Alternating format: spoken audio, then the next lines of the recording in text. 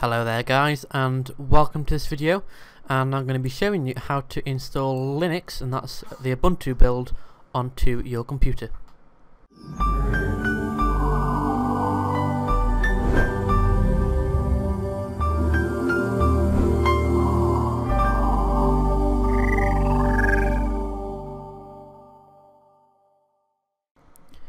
Okay so in this uh, edition I'm using uh, Ubuntu to install on a virtual machine. I'm going to be showing you how to do that. I'm using version 11.04. Uh, I am aware that there is a later version, uh, 12.10 I think it is. I'll have a look. Um, if we go to download, it's 12.04 uh, sorry, um, 12.10 is the beta version at the minute. So to download it you need to just go to ubuntu.com. It's completely free. Uh, uh, click on download Ubuntu desktop and select your version of Ubuntu 32 or 64 bits and click start download. Now that'll download uh, an ISO file uh, similar to this. Okay, so you can see here it's a disk image file ISO and you'll need to burn that to a CD if you're uh, installing installing it on a physical machine. If you're installing it virtually you probably won't need to although it's optional. Um, okay, so uh, I'm using that file there. Okay, so I'm using VMware 9. And okay, if we're going to a new virtual machine, I click custom, uh, workstation 9. Uh, need to tell it, well, you can't optionally tell it. Um, where are we now? Uh, yeah. Others, Linux, there we go.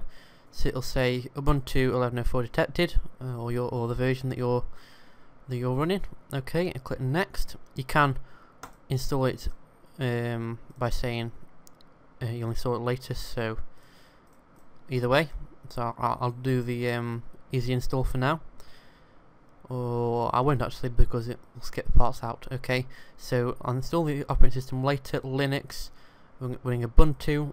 Next, I'm running Ubuntu 11.04.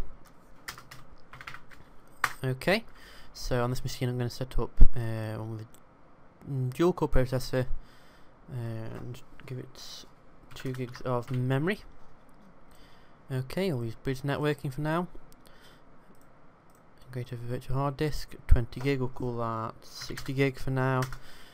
Okay, so you'll now see that if we're going to customize hardware, it says uh, 2 processor, 2 gig of memory, and also the CD drive will now need to put in tell that we're going for the Ubuntu ISO image. Okay we click finish. And that will create the uh, Ubuntu um, sort of oper operating system uh, virtual disk uh, virtual machine should I say uh, on there okay so you can see it says CD DVD using M other blah blah blah.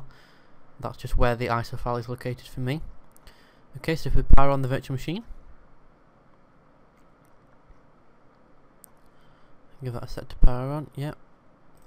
Okay, and if we click enter, we can now see that uh, once it boots off the disk, we can click on English, and you have a couple of options. You can try Ubuntu without installing, install Ubuntu, check disk for defects, test memory, and boot from first hard disk. Now you can try Ubuntu without installing, uh, but that won't be very fast because it's running off the CD. Uh, what you should do is go and install Ubuntu. Okay, so we need to press enter at that that stage. Uh, wait, give it a sec. There we go. So it should now say Ubuntu. Okay, I'm just putting it full screen. And that'll take a few seconds to load.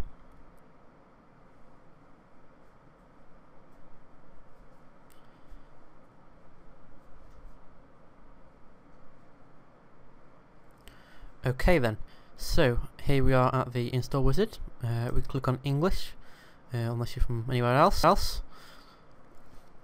Okay, so it, it'll go through a set of uh, things you need to have to install Ubuntu. You need to have at least 4 gig, 4.4 gig available drive space. It needs to be plugged into a power source, so if you're installing it on a laptop, it'll make you plug in the battery first, and it should be connected to the internet. Okay, so you can tick download updates while installing. I'm going to leave that off. But I would tick install third, third party software. So uh, that will install like MP3 plugins and things like that. So we go on next or forward, it's called. Okay, so it says allocate drive space. This computer has no op operating, operating systems.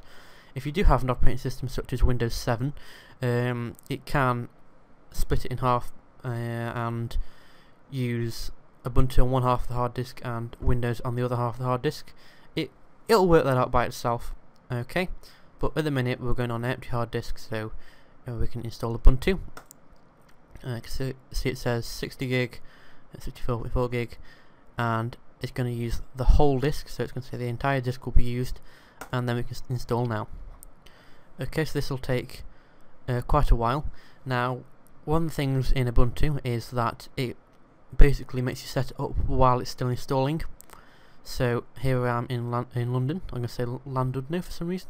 In London, uh, forward. Okay, uh, from the United Kingdom. United Kingdom. So you can test your keyboard. Okay. So next, and it'll say who are you. Now you just tell it who you are. So it says your name, your computer's name. Now it detects whether it's been installed in a virtual machine, which is quite clever. So it calls it that. If it if you say installing it on a laptop, it'll say Ben's notebook or something like that. Okay, and then obviously depends what you install it on to what it'll call itself. But you can go ahead and change that um, to what you want. But I'm going to leave it as it is.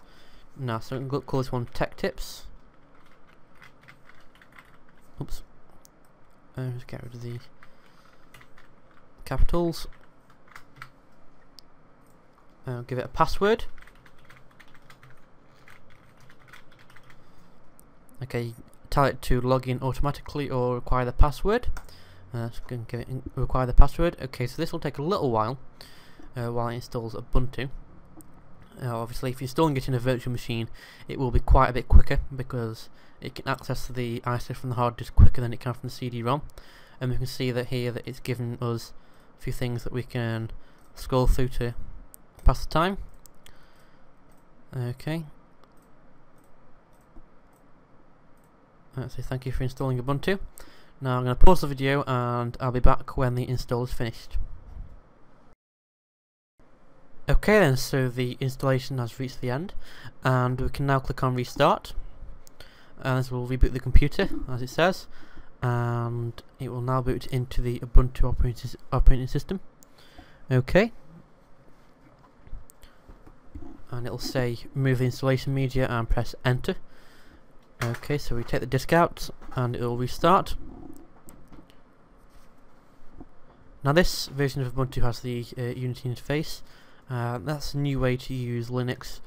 Um, I'll show you in a minute when, when it boots up. Just have to give it a sec. Now Linux is obviously a free alternative. Uh, Ubuntu is. Um, uh, and it's just an alternative to Windows. Uh, Okay, so now we can log into the TechTips virtual machine, uh, Ben's TechTips.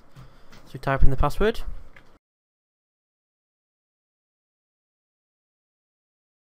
Okay, so now say you can't run Unity.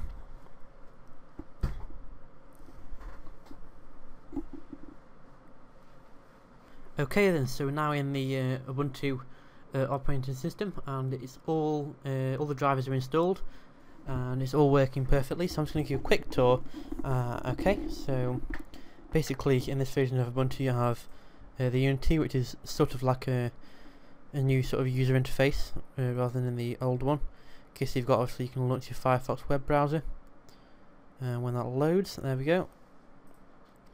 Uh, and we've got media apps, internet apps, more apps, find files blah blah blah. Okay so you've got your software center. Um, what I'm going to be doing is, this is part 1 to this video, if um, you want to see part 2 please click, click the link below. And in that video I'll be showing you some of the features of Ubuntu. Okay so thanks for watching this video, uh, please like, rate, comment and subscribe. Please check out check out my new Facebook page at facebook.com slash Tips. and before you go remember to tell me whether you'd rather have Ubuntu rather than Windows or, or Mac um, and what you think are the good and the bad points of uh, Linux. Okay, so thanks for watching my video.